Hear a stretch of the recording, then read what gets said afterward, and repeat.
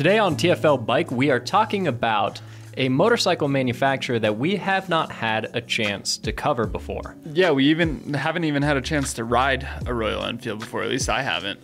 Yeah. Um, yes. So we've been doing these roundup videos where we go through kind of every bike that a certain manufacturer makes. And we did some digging. Apparently, you guys are Royal Enfield fans because that's one of the most searched for brands on our YouTube channel. Yeah, and these are actually really cool bikes for a lot of reasons that we'll get into, but primarily because they're very affordable. These are generally not expensive machines to buy brand new, which is cool. Yeah, you'll see they're pretty basic. They've got a basic lineup. They've got pretty basic motorcycles. They've even got a basic website, so um, it's pretty easy. I mean, if you're just getting into motorcycling and you know you want to pick up one of these, it's not overwhelming to go to their website and figure out for yourself all what they offer. Whereas you know you go to like Honda's website and you could spend three full days on it Oh, just digging yeah. through spec sheets. So yeah, we're gonna walk you through this today and see what this brand is all about, and hopefully we'll be able to actually ride some of these when the weather turns nice in the spring. Absolutely. So let's start off where their website starts off, which is with the Scram 411. Now, you might guess from the name that it's 411c seats, single overhead cam thumper. Uh, it is fuel injected, and as you could guess from the other half of the name, Scram, it's a scrambler. 24 horsepower, 24 or just under 24 foot pounds of torque with a five speed transmission. I think a Scrambler is a really cool bike, and I, I love that even as small as the Royal Enfield lineup is, they offer a Scrambler because um, we saw this when we had that Ducati Scrambler as a long term review bike. They look great. You get comments on them everywhere. Yeah. They're capable. You can take them on fire roads and stuff, um, and they're still great street bikes. Yeah. So- It's generally not going to be anything like a dirt bike. They're going to be heavier, more street oriented, but especially for us here in Colorado, we have a lot of gravel roads. We also have a lot of gravel on our paved roads. So having a scrambler with a slightly knobby tire is nice to have, and you get a little bit more suspension travel. You get a comfortable uh, rider position. So it's just a nice all around bike to commute on, and something that makes it really great for someone as a potential first bike is that the price on this is $5,100. So it's not a ton of money to get into a brand new motorcycle, and it's a cool looking bike. A lot of beginner bikes aren't necessarily all that cool looking. These these have this very badass retro styling to them. They look unique. Doesn't really look like any other It bike has a very market. utilitarian look to it. I think it's I don't know. It's like boxy and big and macho, but um, obviously not a monstrous engine. So it has that big beefy look, but it's Yeah. not a big beefy motorcycle. Um, and you can see that from the displacement and the weight of it. yeah, and there's seven different colors that you can get them in, and every one of those color options is pretty cool. I have to say that's probably my favorite part about this brand, Royal Enfield, is how many color options they offer on all their different bikes. Yeah. Um, all the other manufacturers, like most of their bikes, are two, maybe three colorways, Yeah. and usually one of those two or three colorways is just like all black, or it's the brand's color, like Honda is all red or Kawasaki is all green. And with Royal Enfield, you can really change it up, and all these bikes just look totally different depending on what color scheme you go with. Yeah, and again, it's crazy. Not one of these seven color options looks bad. No, they're I all, think they all look I good. Mean, there's I some have a I like clear better than favorite in here. Yeah, That one. yeah, the red and white. Yeah. I kind of like some of the uh, some of like the gray and blue. I like Yeah, that that's one. cool. But if we go a little further, I think that one's probably Yeah. my favorite. Yeah, like you said, I mean, you can't go wrong with They're either of really all pretty good, and they also have these little lines of color on half of the wheels. Yeah. which is pretty cool too. Mm-hmm. Yeah, which that yeah, the fender changes down the road, colors yeah. too, so a lot of detail. Yeah, so like I said, that's that's one of the coolest part. You'll see you'll see that as we go through the list. All their bikes are like that. Uh, let's move on to the next bike in their lineup, which is the Classic 350, which is basically a, a classic cruiser, right? Yeah, so another entry level bike, especially at $4,700, not especially expensive, slightly smaller displacement than the than the Scram. So it's 349 cc single cylinder, air cooled motor, 20 horsepower, about 19 pound feet of torque. Uh, this bike is also a five speed. The bike also weighs about 430 pounds, so it's not especially heavy. Also, the Scram 411 that we were just talking about weighs about 408 pounds without fuel. Um, so, both of these are pretty lightweight bikes, and this classic, like in the name, it's just got very classic old school British styling. It's cool. Yeah, I mean, you can see what it's modeled after right there. You've got the new one on the left and this really old school classic Royal Enfield on the right, and clearly they're taking their design cues from an older bike. I, I love that Royal Enfield is doing this. Um, you know, the, just looking at like some of the details in the engine cases, they look like old motorcycles. Yeah, and they really not. do. Um, And in a lot of ways, they are very old school, but there's a few killer things that they have on these bikes from the factory. An especially important detail being ABS. So the Scram 411 came with ABS. This bike comes with ABS as well, although these smaller Royal Enfields do have single brake discs in the front. So, you know, not a dual disc. I mean, you're probably not going to have tons of braking power, but like we said, they are also lightweight bikes. Um, and having ABS is really nice to have, even on an entry level bike, especially for someone that's looking to get into motorcycles. It's huge. I think ABS should be on every street bike. Um, I know there's differing opinions on that, but especially for a new rider, there's no reason to not have ABS. The argument is that you know you have better lever feel and you can really push the bike for further without ABS. But if you're an entry level rider, or really any rider on the street, you, you don't want to do that anyway. So, uh, yeah, I like that they come with ABS and just like before, a, a dirt simple entry level motorcycle with everything you need, nothing you don't, um, and very affordable. You're looking at forty six hundred dollars starting MSRP for one of these. Yeah, yeah. So it's inexpensive, cool, kind of. I mean, just like the Scram, it's it's a very approachable entry bike. Yeah. And uh, I'm not usually a cruiser guy, but if you're gonna get a cruiser, I mean, why not have it be an old school, like actually retro cruiser Yeah. like this? And just like before, you know, the look of these things totally changes depending on what you go with. So you can, you know, spec it out to be a very military styled Yeah, uh, that bike. with a slightly knobby tire. Would yeah, look, would look awesome, especially rad. in the sand color too. Um, I really like the chrome tanks that they do. Yeah. That just screams retro. And just like before, there are just tons of different combinations you can go with. Yeah, the what is that? Hal Halcyon. Hali Halicon Gray? Hal- Halcyon? I don't know. Someone know tell us how say to that, pronounce yeah. that. Um, Super cool. but yeah, just rad that they have so many different styles. They look like completely different bikes, and Yeah. they're not. So Yeah, it's it's amazing how much those color schemes can change the feel of a bike. And Yeah. now we'll move on to the Himalayan. So this brings us back to that 411cc single cylinder that we saw in the Scram. Um, once again, just over 24 horsepower, just under 24 pound feet of torque. Also fuel injected.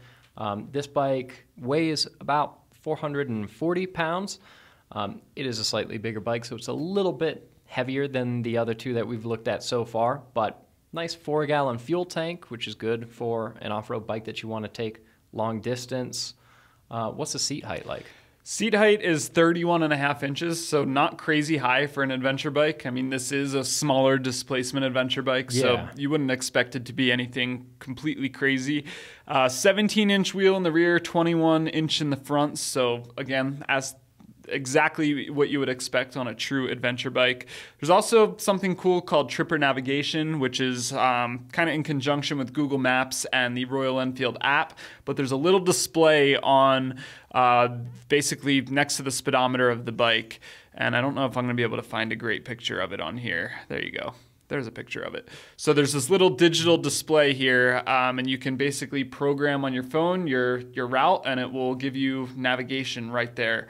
Um, a lot of bikes are doing this, but I think it's just integrated really well. You have all these round dials, and it still looks retro, even though you have a modern, colorful digital display there with all your navigation. Yeah, and for 5300 bucks, that's a pretty nice feature to have. Yeah, I mean, there's a lot of bikes for 5300 bucks that just have speedometers and odometers Yeah. and they're LCD. So yeah, that's a, a very nice feature.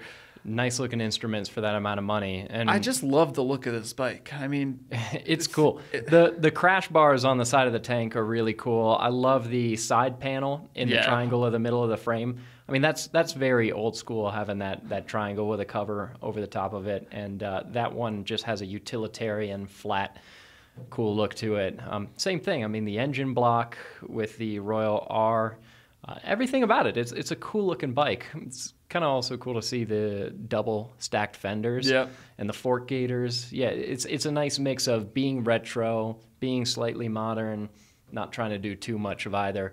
Um, I don't think this bike is missing any identity trying to split that difference. Not at all. I mean, this is a class of bike that really interests me. Um, neither one of us sitting here are expert off-road riders, so you know, you get on like a 1200cc adventure bike, and they're- we just feel Yeah, limited by on the a steep size of the downhill, twenty thousand dollar, Yeah. five hundred fifty pound. Exactly. Something like this, bike. way more affordable, way more lightweight. Yeah, if you drop it, whatever, you just buy another. yeah, ex- exactly. And um, so many of the adventure bikes out there look the same. They have that beak nose, and they Yeah. they just they look too sporty. This is the only one that looks like this, at least that I can think of off the top of my head. And, Something uh, about retro styling on an off-roader that just works. it's It pure. it You're just out in nature, like with no technology, Yeah. the way it was supposed to be back in the old days. It's cool. Yeah, yeah. I don't know what it is. Even even with cars and all the way to motorcycles, yeah, old school styling on an off-roader is just a, a cool thing to look at. Yeah, let's. uh We've been on this trend of looking at the different colors, so why not do the same here? Yeah, Um, that's cool. So you got, you know, your basic black and silvers. You have a. Not big on the camo. Well, I think that's pretty cool. I don't You- think I'd buy it, but that, I, yeah. I I think it's cool. I like the lake blue. The lake blue is cool with the split blue and white yeah. tank. I think the rock red's a good look too. Yeah. I'm with you on the lake blue. I think lake blue or the camo that Kase hates is uh is the good look on this bike.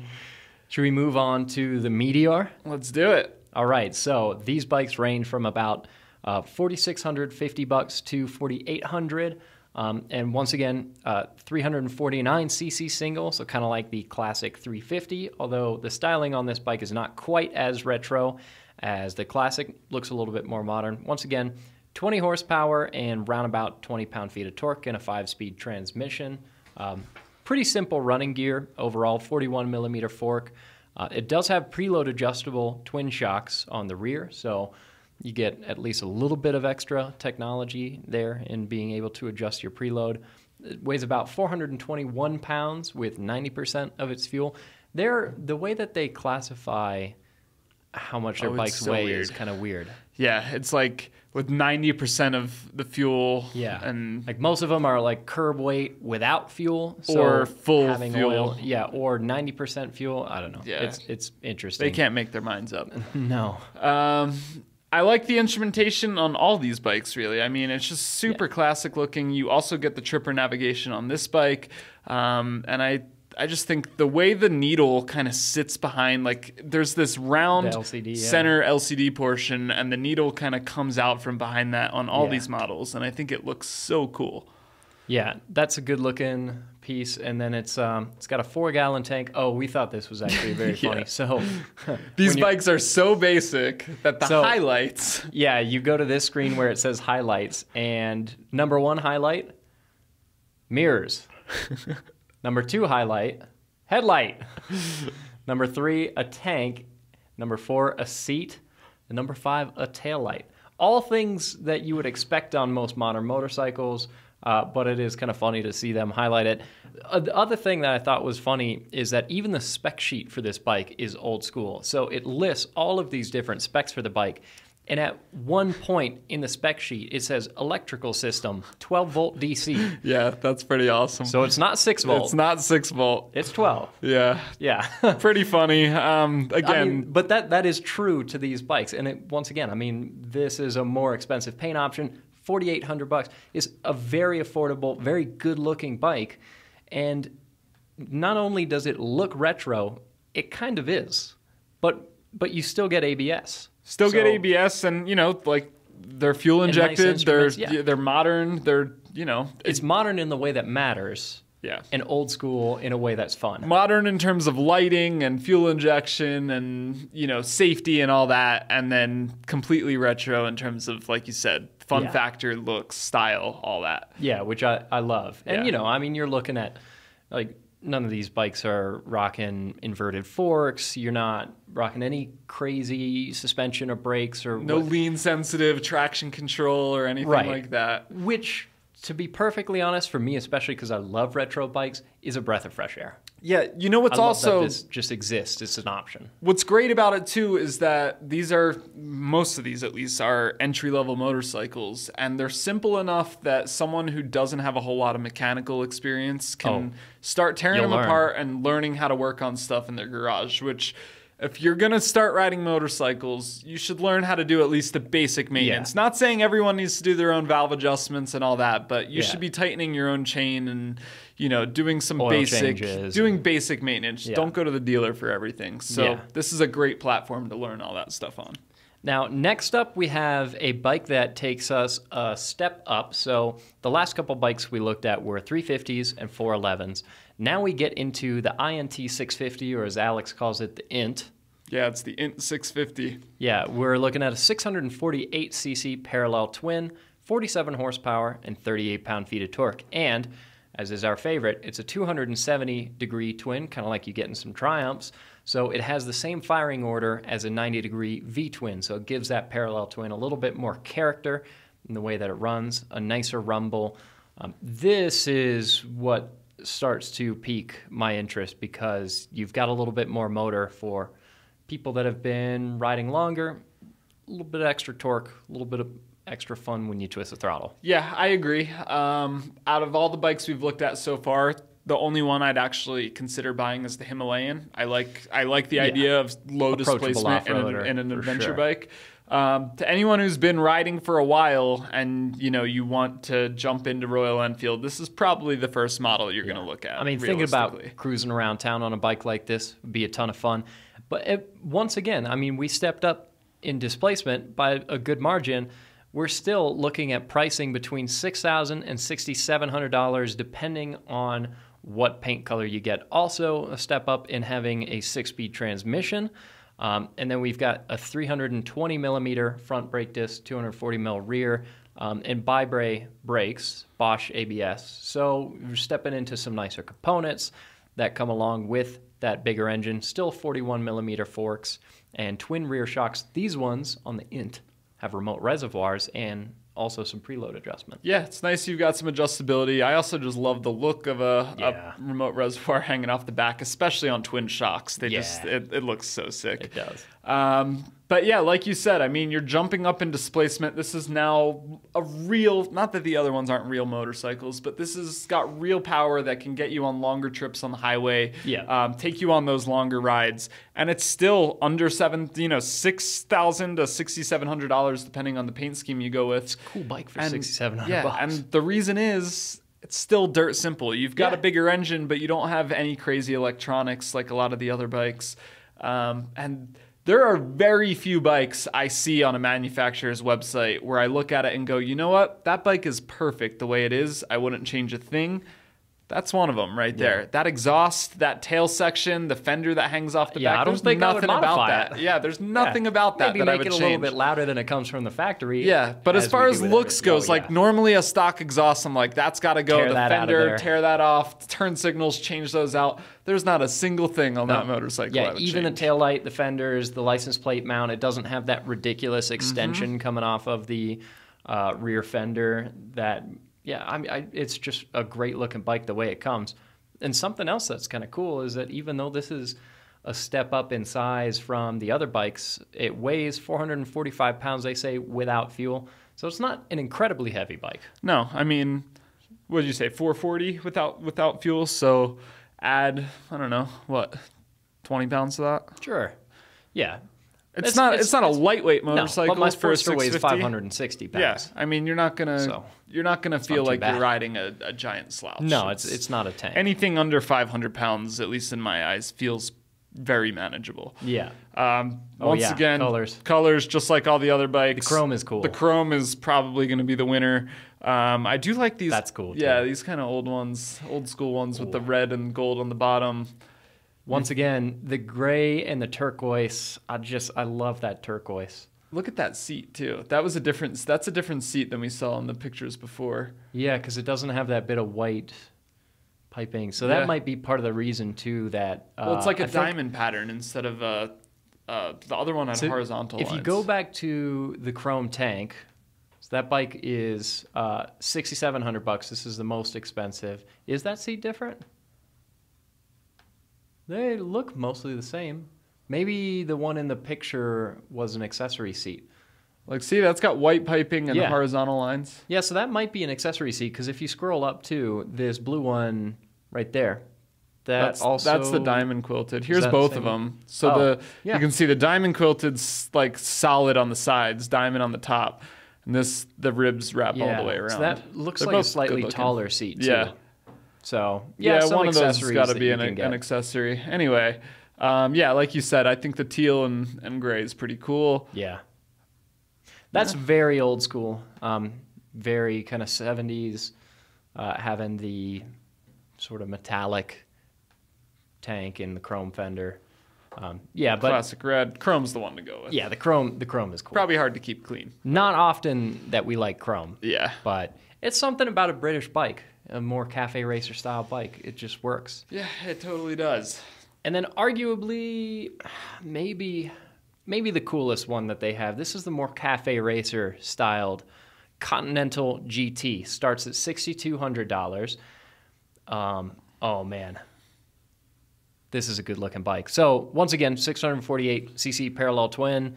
Um, same specs, 47 horsepower, 38 pound feet of torque, six speed. Um, it's got a three and a half gallon tank, 445 pounds, no fuel. Uh, 18 inch wheels, 130 width rear, 100 width front. Um, but aside from the running gear, it's just the styling on this. You've got this That makes it really yeah, cool. You have this really long, squarish, boxy tank um, that looks like old six bikes from the '60s. You have this like Cafe racer style seat with the hump on yeah, the back. The hump on the back, twin uh, twin shocks with remote reservoirs, Once these again, yeah. exhausts that kind of fire up at a 45 degree angle, spoked wheels, everything about it just It looks very classic. style. Yeah. Yeah. And that's, I, I mean, we've been talking about style this whole video. That's the key to Royal Enfield. Is Yeah. You see them riding up next to you on the road, and you look over, and you're like, think, "Wow, That's cool. that's a cool motorcycle. I don't see those all the time. Yeah. What are they? Is that a retro bike? Like they, they just have this thing to them that you don't get with most of the other brands. Yeah, they have a wow factor, which I think is also especially important with a bike for somebody that's trying to get into motorcycles. Because if you don't walk up to whatever bike you have and think, wow, I love this machine, I really want to spend time on this bike and get used to riding motorcycles, if you don't have that draw, then what's more likely to happen for you is, is something that I've seen with a number of people where they buy a motorcycle, they think that they want to get into riding it, and then they just don't end up doing that often. They never get past that point where you're uncomfortable riding a motorcycle on a street surrounded by cars, which is fair, especially when you're starting out and you're not Yeah. used to that. And then you get to that point where "Ugh, I really don't ride this, I should sell it. Yeah, and then this beautiful chrome bike is sitting in your garage under a layer of dust, and that's what happens to a lot of them. Yeah, I think it's less likely to happen with something like this that you walk up to and it's just so magnetic and it pulls you in. It makes you want to ride it because I mean, look at it. Yeah, it's and- awesome. Who wouldn't want to ride that? part of like you you will have other people come up to you with one of these and oh, that's Oh, yeah. that's part of what's going to get a new rider hooked on motorcycling is they go and buy a brand new bike for $5000 or whatever it is and they're filling it up at a gas station and someone comes and asks them questions about it and they get involved with the community so Yeah, the community is one of the funnest parts of it, and you know, there's there's a lot of very practical, functional bikes that we like a lot. Things like the Ninja 400, um, bikes like the MT07, uh, bikes that are great, but they're not necessarily stand out in terms of style. It Yeah. looks like a lot of other modern motorcycles. This just satisfies a totally different demographic, uh, and I think one that has a lot of value, one, one that's important. This is a bike that doesn't look like most brand new motorcycles, but it is brand new. So you get that classic motorcycle feel, you know, like 60s movies, t shirt, you know, cool guy on a motorcycle, right? you get that style with this without having to actually own a classic motorcycle, which is a pain in the ass. Yeah, you know that firsthand. yeah. Oil Yeah. leaks, dead batteries, clogged carbs, being carbureted. I mean, yours At is all. just a frame right now. It doesn't even have a motor in it. One of, so- one of my bikes doesn't have a motor. Yeah. Yeah. So you you get all the cool style and none of the headache. Exactly. And then you can learn how to wrench on a modern motorcycle Yeah, at the same awesome. time. Even I- this top dog Continental GT starts at $6,200 and ends right around $7,000. And of course, you can add some accessories and price them out a little more. Yeah. Um, but $7,000 for a motorcycle manufacturer's highest end model, that's crazy, dude. Yeah, because think about some of the other lists that we've done looking at like uh, Kawasaki H2s. Yeah. Some of the crazy like Panigales. Yeah, some of the BMW baggers and Yeah. I mean it gets nuts. You can easily spend thirty, forty thousand dollars. Go to Ducati, you can spend way more than that on a motorcycle. Yeah. Um, I mean, the the top dog, most expensive color of the most expensive bike that you can get from Enfield is less expensive than some manufacturers' cheapest motorcycles. Yes, very true. Very, So- very true. It's cool. There's Yeah, a place so for it. I love it. Let us know your thoughts on this brand down in the comments below. Um, like we said at the start of this video, we've seen these on the road. We've seen them around town. I've been to a Royal Enfield dealership. I've never actually ridden one. Um, and even when you do see them, it's it's Yeah. rare. I see like I don't know, a hundred Hondas for every one of these I'll see on the road. Yeah, So- and and you know to be fully transparent, uh, we we have interest in these Royal Enfield bikes. We haven't formed a relationship with Royal Enfield yet, so part of our hope in covering these bikes, like with this video, for example, is to reach out to them and say, uh, you know, next time we're on the West Coast, which is where most of the motorcycle press fleets are, we would love to throw a leg over one or more of these bikes and start making some videos actually riding them because at the end of the day that's what we really want to do Yeah. it's fun to talk about them but we, wanna would ride rather 'em. ride them We also like to hear from you guys though. So once in a while, if you guys own cool bikes and you want to bring them in and do a "Dude, I love my ride" on your own motorcycle, And we'd love to have you. So yeah, if, if you have a Royal Enfield and you want to put it on YouTube, Bring it uh, over. talk about it, bring it over, or any other cool motorcycle for that Yeah. matter. Get in touch with us and. Uh, We'll be sure to get you get you in a video on the channel. yeah you can shoot us an email at ask at tfl truck or even drop a comment under the video or any video and we'll make sure to get back to you because we can never have too many bikes to film Exactly. There you go. So uh, I'm gonna keep dreaming about these because I didn't realize how cool they were before we started recording this video, and hopefully we can get some seat time on them. Thanks for watching. Check out alltfl.com so you don't miss any other stories in the bike world, and we'll catch you in the next video you